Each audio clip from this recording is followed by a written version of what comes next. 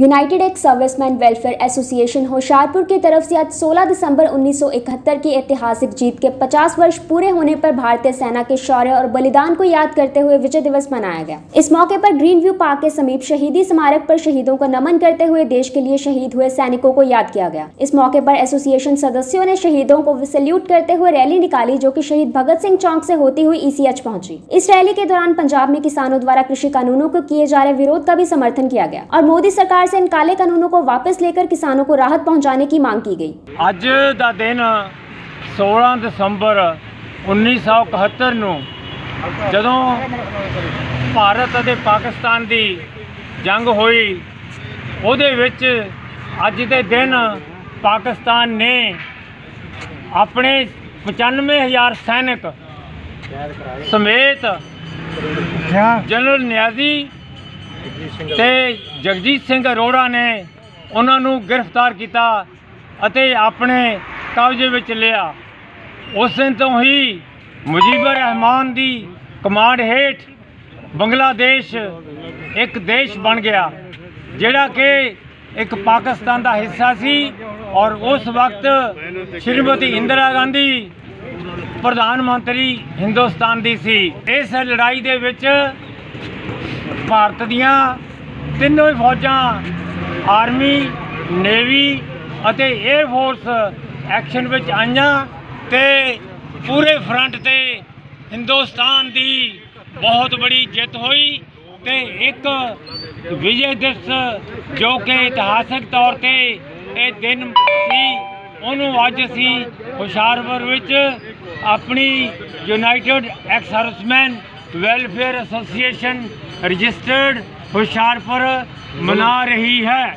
ਮੈਂ ਇਸ ਵੇਲੇ 에ਅਰ ਫੋਰਸ ਚੋਂ 1983 ਦੇ ਵਿੱਚ ਰਿਟਾਇਰਮੈਂਟ ਲੈ ਲਈ ਸੀ ਔਰ ਸਰਵਿਸ ਦੇ ਦੌਰਾਨ ਮੈਂ ਇੱਕ ਇੰਜੀਨੀਅਰ ਵੀ ਸੀ ਤੇ ਐਡਵੋਕੇਟ ਵੀ ਸੀ ਤੇ ਨੌਕਰੀ ਛੱਡਣ ਤੋਂ ਬਾਅਦ ਮੈਂ ਬਤੌਰ ਵਕੀਲ ਹੁਸ਼ਿਆਰਪੁਰ ਵਿੱਚ ਵਕਾਲਤ ਕਰ ਰਿਹਾ ਹਾਂ।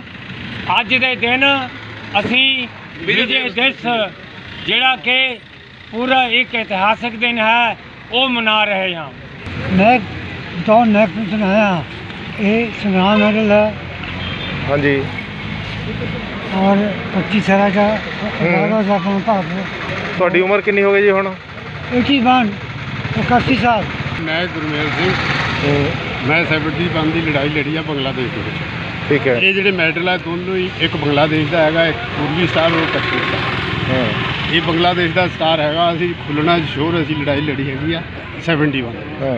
ਬਾਕੀ ਮੈਡਲ ਅਸੀਂ ਜਿੱਥੇ ਜਿੱਥੇ ਰਹੇ ਆ ਜਿਸ ਤਰ੍ਹਾਂ ਹਾਈ ਐਲਟੀ 'ਚ ਰਹੇ ਹੈਗੇ ਉੱਥੇ ਦੇ ਹੈਗੇ ਆ ਜਿੱਥੇ ਜਿੱਦਾਂ ਅਸੀਂ ਬਾਰਡਰ ਤੇ ਰਹੇ ਹੈਗੇ ਉਸੇ ਤਰ੍ਹਾਂ ਹੈਗੇ। ਬਾਕੀ ਇਹ ਦੋਨੇ ਸਟਾਰ ਜਿਹੜੇ ਆ 70 ਬੰਦ ਦੀ ਲੜਾਈ ਦੇ ਹੈਗੇ ਆ ਇੱਕ ਬੰਗਲਾਦੇਸ਼ ਦਾ ਹੈਗਾ ਇੱਕ ਇੱਧਰਲਾ ਹੈ। ਮੇਰਾ ਨਾਮ ਇਹ ਮੈਂ ਇੰਡੀਅਨ 에ਅਰ ਫੋਰਸ ਤੋਂ ਰਿਟਾਇਰਡ ਇੱਕ ਅਫਸਰ ਤਰੋਕ ਸਿੰਘ ਏਅਰਮੈਨ ਸਾਬਕਾ ਮੀਤ ਪ੍ਰਧਾਨ ਨਗਰ ਕੌਂਸਲ ਹੁਸ਼ਿਆਰਪੁਰ ਅੱਜ ਅਸੀਂ ਜਿਹਦੇ ਦੇ ਸੁਣਾਇਆ, ਬਹੁਤ ਹੀ ਖੁਸ਼ੀ ਦਾ ਦਿਨ ਹੈ ਇਹਦੇ ਨਾਲ ਹੀ ਅਸੀਂ ਕਿਸਾਨਾਂ ਦੀ ਮਦਦ ਵਾਸਤੇ ਗਵਰਨਮੈਂਟ ਨੂੰ ਪੋਸਟ ਕਰਦੇ ਹਾਂ ਵੀ ਜਲਦੀ ਤੋਂ ਜਲਦੀ ਇਹਦਾ ਫੈਸਲਾ ਲਿਆ ਜਾਵੇ ਤਾਂ ਕਿ ਜਿਹੜੇ ਦੇਸ਼ ਦੇ ਰਾਖੇ, ਖੇਤਾਂ ਦੇ ਰਾਖੇ ਉਹਨਾਂ ਨੂੰ ਹਰ ਇੱਕ ਹਾਲਤ ਦੇ ਵਿੱਚ ਉਹਨਾਂ ਦੀਆਂ ਮੰਗਾਂ ਨੂੰ ਪੂਰਾ ਕੀਤਾ ਜਾਵੇ ਤਾਂ ਕਿ ਦੇਸ਼ ਚੜ੍ਹਦੀ ਕਲਾ 'ਚ ਜਾਵੇ। ਕਿਉਂਕਿ ਅਦਰਵਾਈਜ਼ ਜਿਹੜੇ ਮੋਰਾਲ 에ਅਰ ਫੋਰਸ ਦਾ ਮੋਰਾਲ ਆਰਮੀ ਦਾ ਔਰ ਖੇਤਾਂ ਦੇ ਕਿਸਾਨਾਂ ਦਾ ਜੇ ਡਾਊਨ ਹੁੰਦਾ ਹੈ ਤਾਂ ਸਾਰਾ ਦੇਸ਼ ਡਾਊਨ ਹੁੰਦਾ ਹੈ। ਸੋ ਇਹੀ ਬੇਨਤੀ ਕਰਦੇ ਹਾਂ ਅਸੀਂ ਕੇਂਦਰ ਨੂੰ ਬਿਨਾਂ ਅੜੀ ਤੋਂ ਇਹਨਾਂ ਦੇ ਫੈਸਲੇ ਜਲਦੀ ਤੋਂ ਜਲਦੀ ਕੀਤੇ ਜਾਣ। ਮੇਰਾ ਨਾਮ ਸਰਵਨ ਸਿੰਘ ਹੈ ਜੀ। ਮੈਂ 에ਅਰਫੋਰਸ ਦੇ ਵਿੱਚੋਂ 35 ਸਾਲ ਨੌਕਰੀ ਕਰਕੇ ਰਿਟਾਇਰ ਹੋਇਆ। ਦੇਸ਼ ਦੇ ਵਿੱਚ ਮੈਂ ਸਾਰੀਆਂ ਲੜਾਈਆਂ ਬਾਹਰ 65 ਕਰਕੇ ਦੀਆਂ ਲੜੀਆਂ। ਤੇ ਨੇਫਾ ਵਗੈਰਾ 'ਚ ਵੀ ਰਹੇ ਹਾਂ ਤੇ ਆਖਰੀ ਹੁਣ ਅਸੀਂ ਆਪਣੇ ਪੈਨਸ਼ਨਰ ਹਾਂ ਕੋਈ ਕਾਰੋਬਾਰ ਨਹੀਂ ਕਰਦੇ, ਆਪਣੇ ਪੈਨਸ਼ਨ ਦੇ ਬਹੁਤ ਅੱਛੇ ਤਰ੍ਹਾਂ ਰਹਿ ਰਹੇ ਹਾਂ ਤੇ ਅੱਜ ਜਿਹੜਾ ਅਸੀਂ ਸਮਾਗਮ ਕਰ ਰਹੇ ਹਾਂ ਇਹ ਬੜਾ ਹੀ ਸਾਡਾ ਹੌਸਲੇ ਵਾਲਾ ਤੇ ਆਪਣੇ ਭਰਾਵਾਂ ਨੂੰ, ਆਪਣੇ ਪਰਿਵਾਰਾਂ ਨੂੰ, ਆਪਣੇ ਫੌਜੀਆਂ ਨੂੰ ਇੱਕ ਉਤਸ਼ਾਹ ਕਰਨ ਵਾਸਤੇ, ਕਿਸਾਨਾਂ ਨੂੰ ਉਤਸ਼ਾਹ ਕਰਨ ਵਾਸਤੇ ਹੁਸ਼ਿਆਰਪੁਰ ਵਿੱਚ ਇਹ ਸਮਾਗਮ ਕੀਤਾ ਜਾ ਰਿਹਾ ਇਹ ਮੈਡਲ ਜਿਹੜੇ ਹੈਗੇ ਨੇ, ਇਹ ਨੇਫਾ, ਪਹਿਲਾਂ ਦਾ ਇੰਡੀਪੈਂਡੈਂਟ ਮੈਡਲ ਹੈ। ਜਿਹੜਾ ਆਜ਼ਾ- ਆਜ਼ਾਦੀ ਦੇ ਵਿੱਚ ਇੱਥੇ ਸਰਵਿਸ ਦੇ ਵਿੱਚ, ਇਹ ਨੇਫਾ ਦੇ ਵਿੱਚ ਨੇਫਾ ਦੇ ਨੇ। ਤੇ ਬਾਹਰ ਦੀ ਲੜਾਈ ਦਾ ਮੈਡਲ ਹੈ। ਉਹ ਖੱਤੇ ਦੀ ਮੈਡਲ ਲੜਾਈ ਤੇ ਉਸ ਤੋਂ ਬਾਅਦ ਇਹ ਇੱਕ ਨਾਮ ਮੈਰੀਟੋਰੀਅਸ ਸਰਵਿਸ ਮੈਡਲ ਨੇ। ਜਿਹੜਾ ਕਿ ਸਰਵਿਸ ਦੇ ਵਿੱਚ ਸਾਨੂੰ ਅੱਛੀ ਨੌਕਰੀ ਕਰਨ ਦੇ ਤੇ ਮਿਲਿਆ ਹੈ। ਤੇ ਲਈ ਹੁਣ ਐਲੇ ਫਲਾਈਂਗ ਅਫਸਰ ਰਿਟਾਇਰ ਹੋਇਆ ਹਾਂ ਆਪਣੇ ਫੈਮਿਲੀ ਨਾਲ ਬੜਾ ਮੇਰਾ ਨਾਮ ਹੈ ਜਨਰਲ ਢਿੱਲੋਂ, ਵਿਸ਼ੇਸ਼ ਸੇਵਾ ਮੈਡਲ। ਮੈਂ 2009 ਚ ਰਿਟਾਇਰ ਹੋਇਆ, ਸਾਢੇ 39 ਸਾਲ ਸਰਵਿਸ ਕਰਕੇ। ਔਰ ਹੁਣ ਮੈਂ ਇੱਥੇ ਸੰਤ ਬਾਬਾ ਭਾਗ ਸਿੰਘ ਯੂਨੀਵਰਸਿਟੀ ਦਾ ਡਾਇਰੈਕਟਰ ਜਨਰਲ ਹੈ, ਜਿਹੜੀ ਖਿਆਲੇ ਦੇ ਵਿੱਚ ਹੈਗੀ ਹੈ ਸਾਡੀ ਯੂਨੀਵਰਸਿਟੀ। ਮੈਂ ਰਿਟਾਇਰਮੈਂਟ ਤੋਂ ਬਾਅਦ ਉੱਥੇ ਹੀ ਸੇਵਾ ਲਈ ਆ ਗਿਆ ਸੀ।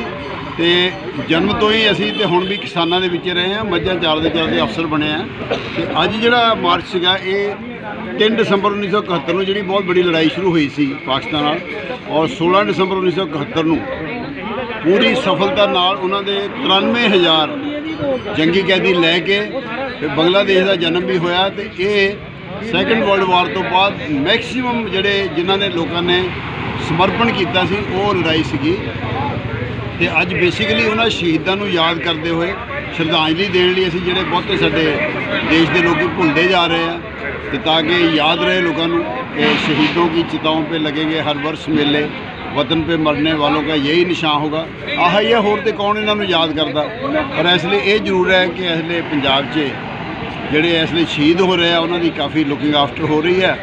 ਕਿਉਂਕਿ ਜਿਹੜਾ ਬੱਚਾ ਜਾਣਾ ਹੁੰਦਾ, ਸ਼ਹੀਦ ਹੋ ਜਾਂਦਾ, ਉਹ ਆਪਸ ਵਿੱਚ ਉਹਦਾ ਪੈਸੇ ਨਾਲ ਨਹੀਂ ਕੀਤਾ ਜਾ ਸਕਦਾ ਬਟ ਜੇ ਉਹਦੀ ਫੈਮਿਲੀ ਪਿੱਛੋਂ ਰਹੇ ਠੀਕ, ਤੇ ਉਹ ਇਸ ਲਈ ਇਹਨਾਂ ਨੂੰ ਯਾਦ ਕਰਨਾ ਬਹੁਤ ਜ਼ਰੂਰੀ ਹੈ ਤੇ ਇਸ ਲਈ ਜਿਹੜੇ ਸਾਡੇ ਸ਼ਹੀਦਾਂ ਨੂੰ 50-50 ਲੱਖ ਰੁਪਏ ਦਿੱਤਾ ਜਾ ਰਿਹਾ ਪੰਜਾਬ 'ਚ, ਉਸ ਗੱਲੋਂ ਅਸੀਂ ਬੜੇ ਖੁਸ਼ ਹੈਗੇ ਆ ਪਰ ਨਾਲ ਥੋੜਾ ਦੁੱਖ ਦੀ ਗੱਲ ਐਸੇ ਜਿਹੜੇ ਸਾਡੇ ਕਿਸਾਨ ਹੈ ਤਰ੍ਹਾਂ ਤਰ੍ਹਾਂ ਦੇ ਮੁੱਦੇ ਲੈ ਕੇ ਜਿਹੜੇ ਬੈਠੇ ਆ ਬਿਕੋਜ਼ ਅਸੀਂ ਸਾਰੇ ਕਿਸਾਨਾਂ ਦੇ ਬੇਟੇ ਹਾਂ ਅਸੀਂ ਮੱਝਾਂ ਚਾਰਦੇ ਚਾਰਦੇ ਅਫਸਰ ਬਣਿਆ ਤੇ ਇਸ ਤੋਂ ਜ਼ਿਆਦਾ ਕਿਸਾਨੀ ਕਿ ਅਸੀਂ ਮੁੜ ਕੇ ਵੀ ਪਿੰਡਾਂ 'ਚ ਆ ਗਏ ਆ ਅਸੀਂ ਪਿੰਡਾਂ 'ਚ ਰਹਿ ਰਹੇ ਹਾਂ ਜਦ ਤੋਂ ਰਿਟਾਇਰ ਹੋ ਕੇ ਆ ਰਹੇ ਹਾਂ ਤੇ ਇਸ ਕਰਕੇ ਜੈ ਜਵਾਨ ਜੈ ਕਿਸਾਨ ਦਾ ਨਾਰਾ ਇਹ ਸੰਭਵ ਕਰ ਦਿੰਦਾ ਇਹ ਦੋਨੋਂ ਐਸੇ ਕੈਟੇਗਰੀਆਂ ਜਿਹੜੀ ਦੇਸ਼ ਦੀ ਸੇਵਾ 'ਚ ਬੜੀ ਦੁੱਖ ਸੁੱਖ ਮਾਣਦੇ ਆ ਇਹਨਾਂ ਦਾ ਖਿਆਲ ਕਰਨਾ ਵੀ ਜ਼ਰੂਰੀ ਹੈ thank you the Styler news के लिए श्वेता राणा के साथ कैमरामैन जितेंद्र प्रिंस की रिपोर्ट